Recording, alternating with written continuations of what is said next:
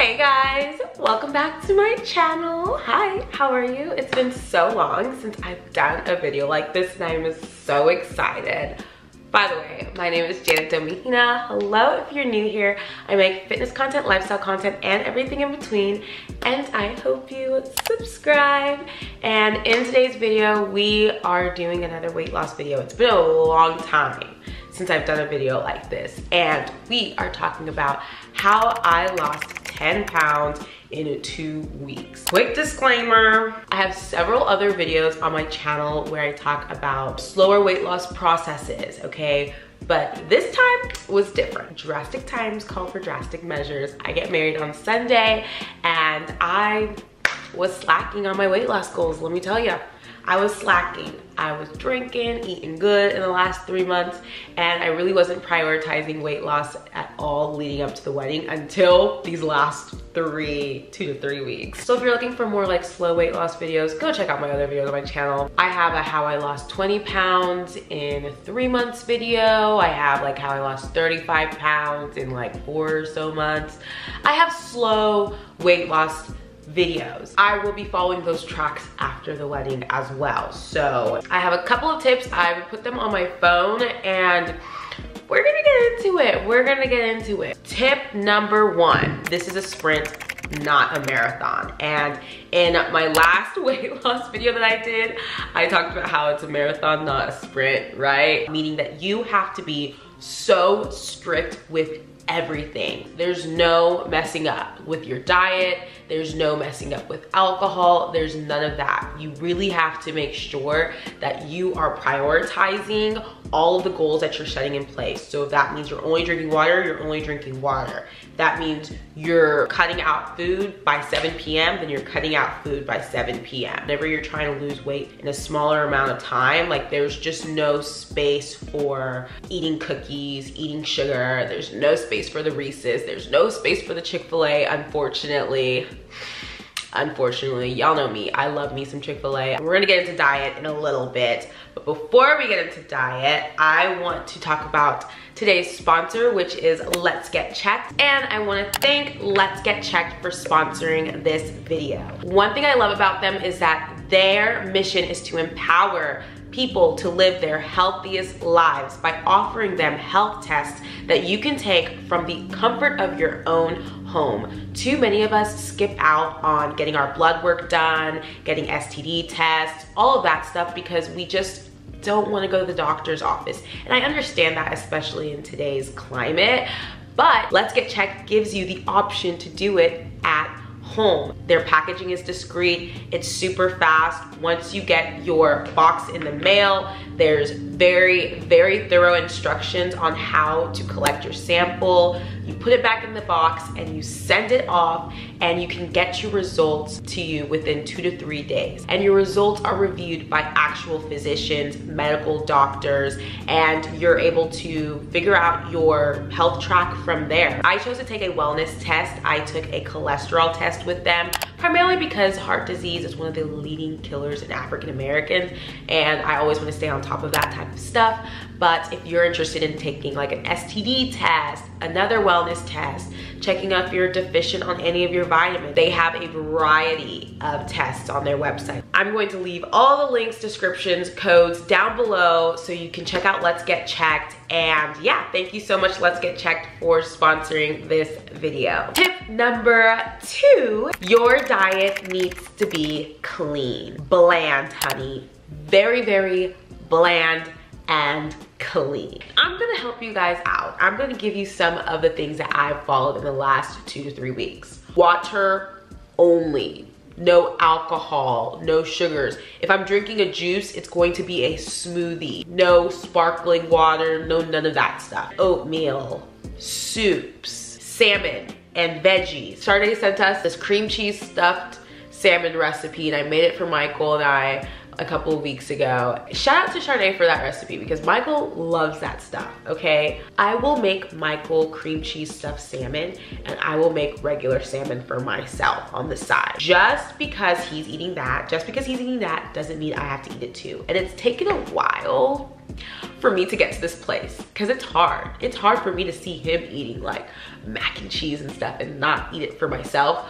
But drastic times call for drastic measures, honey. And I've been following this diet to a T. Being very, very, very bland and plain with your diet is going to really help you be successful. I have several videos from this journey like in the last couple of days i've been vlogging pretty much like every three days or so and check out those videos. If you just check out my most recent videos you'll follow my days of me trying to really really eat healthy. It's not easy guys. Like it's not easy at all. But it's been really rewarding. Like every day waking up and like just feeling the changes feeling lighter feeling more energetic all of that good stuff. So it's been really rewarding.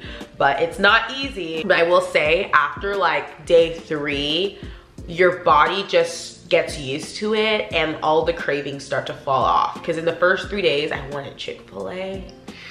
I wanted all the carbs, I wanted the sugars.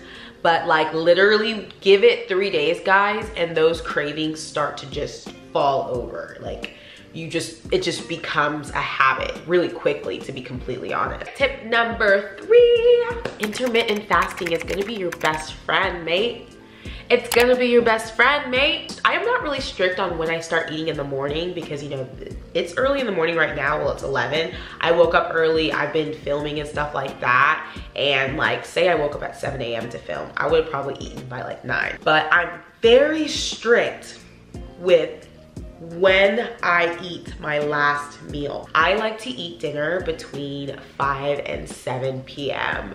and that is like my cutoff, like 7.30 the latest. Intermittent fasting, I don't know what it is. It's chef's kiss though. I just try not to go to bed directly after eating. Like I try to do something like wash the dishes, put away some laundry, keep myself moving, go on a walk. Cause like by six o'clock, the sun's still out. Go on a walk, come back in, and then drink water and tea for the rest of the night. I mean, don't drink a whole bunch of tea, but you know, drink a cup of tea and then drink water for the rest of the night. You wake up in the morning and your stomach is on flat, flat, honey, and the pounds just start falling off. Something about intermittent fasting is just chef's kiss. And I've had to reprogram my mind with my man. Like, I'm gonna be talking about Michael a lot because like our relationship does play a huge part in my weight loss because a big part of being in a relationship is going out to eat, going out drinking, having a good time you can still lose weight while having a good time with your mate. Okay, mate? I don't know why I keep saying that. Michael gets off of work really late sometimes. Sometimes he gets home around like 10 p.m just because he has to eat at 10 p.m. does not mean I have to eat at 10 p.m. And I've had to condition my mind in that way. Like, I don't know, something about like, there's just something about like breaking bread with your man and like just talking about your day. But I can make myself some tea while he eats his dinner, you know, and just like drink my tea and talk to him and like talk about our day. Like, I don't have to eat what he's eating because sometimes it's just way too late and it's really contributed with my weight gain. So, all right, the next tip, I don't even know what number I'm on, is to increase your cardio, okay? So that's things like spin, going running. I went running the other day. God, that killed me. I only did three quarters of a mile. I, I was close to that mile, but I was tired. Increasing the cardio helps, spin, Pilates, things like that. I have been doing boot camp, but not as much. I've been just trying to do more spin, Pilates, and a little bit of boot camp just to, you know, tone up those arms. I have a Pilates class today.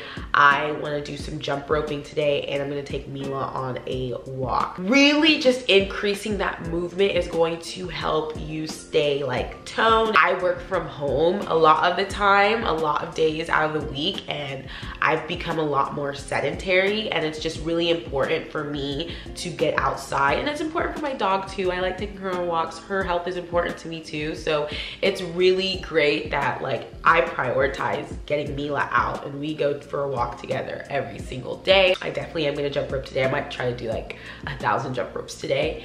And then I have Pilates at 5.30 tonight. And yeah, primarily because it does keep your, you busy. And that leads into the next tip, which is to keep yourself busy. Keeping yourself busy is going to be the best way for you to be successful in this journey, you gotta keep yourself busy. I find that all of this wedding planning, all this wedding madness has really kept me busy, honey. Really, really staying on top of like filming. Because something about filming just keeps me like focused and I'm not, you know, sitting in the kitchen and trying to find a snack. So keep yourself busy. I didn't say this earlier. Throw out all the snacks. Throw them all out. When they're there, you're gonna eat them. So throw them all out. Like make sure you just don't have any of that. And that should be a tip too. Throw it all out. Make sure you have a jam-packed schedule within the day so you're not wanting to eat when you're bored. Let me tell you something, guys. I am a bored eater. I eat when I'm bored. Something about it is just so comforting. Something about driving to Chick-fil-A, getting waffle fries and Chick-fil-A sauce, sitting in my car and watching YouTube is the best day ever to me. it's a good time to me and I love to eat when I'm bored. But I've realized I can't do that as much these days. So I'm very strict on myself. No bored eating, no bored snacking, none of it. Cutting it all out until summer 2022, honey. I am going to be a hot girl this summer. Just wait on it prepare to be sick of me. All right, guys, we're about to close out this video, but the last tip, and this is a very, very, very important tip, guys. I really want you to listen to this. I know I've been joking and laughing and like kicking with you guys this whole video, but this is really important. Make sure you are listening to your body. You want to stay safe throughout your whole health journey. And please, please, please, please, please do not hurt yourself trying to lose weight. Please listen to your body. If you are hungry, eat, okay? That doesn't mean run to Chick-fil-A. That doesn't mean cave and eat a mountain of cookies. No, but if you are hungry, make yourself some food and eat it, okay? Do not hurt yourself trying to lose weight. When I start to feel hungry, you know, yes, I'm a bored eater, but I know what hunger is and I know what boredom is. I know when I'm just bored. I know the difference, okay? And you should know the difference too. Start trying to be a little bit more in tune with your body and learn when you're hungry or when you're bored or when you're thirsty. Drink a bunch of water. If you still have those feelings, get yourself something quick to snack on, whether it's some fruits, maybe some veggies, some green beans, whatever it is, guys. But make sure you are being healthy and listening to your body and eating when it's hungry, okay? There's been some videos where I'm like, I'm not eating dinner tonight because I'm not hungry, or I'm just drinking soup tonight and then calling it a night. If I was truly hungry, I wouldn't do that. But if I feel like I can just drink soup and then call it a night, then I'm gonna just drink soup and call it a night. But if I feel like, oh, the soup just isn't enough, I'm starting to feel a little faint, okay, maybe I should eat some type of, you know, simple carb, something quick to kind of like bring my blood sugar up and keep it pushing, okay? Do not hurt yourself trying to lose weight, guys. It's not worth it. You have one body. Love her, okay? Love her, take care of her, okay? You only have one. I know we're super excited for Hot Girl Summer. Hot Girl Summer is coming up. Okay, we're, we're, we're trying to be cute. I'm gonna be in braids all summer long. I'm gonna be, you know, living my best life this summer, traveling, all the fun things. But do not hurt yourself trying to lose weight. I'm just gonna say that. I'm gonna leave it at that too, okay? Remember, to eat, drink your water, listen to your body, and stay safe out there, folks. Stay safe out there. Ah, this was fun. I miss doing these videos. I've been doing a lot more of these videos and it's been so fun to like bring back these topics. And as I lose weight, I'll be updating you guys.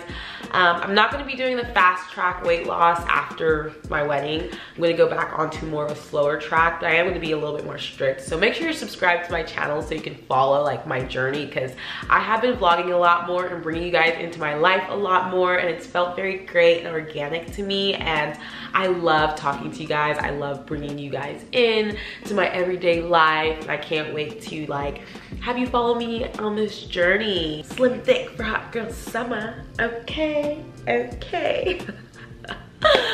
all right guys i don't know when this video is gonna be posted it might be posted after the wedding it might be posted on the wedding day we'll see ah. but yeah guys make sure you guys check out let's get checked down below thank you so much let's get checked for sponsoring this video and i will see you guys in the next video peace out girl scout. Bye